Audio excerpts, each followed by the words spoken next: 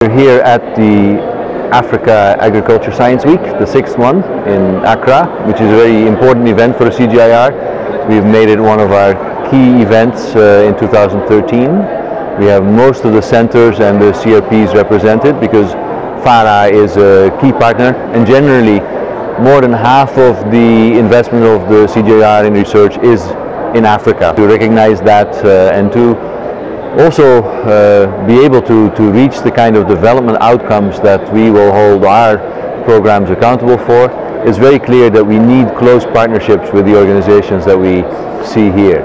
So yeah, we have about 100 of our staff here, we have many side events uh, and many bilateral meetings that we think will lead to strong partnerships, stronger partnerships uh, in years to come.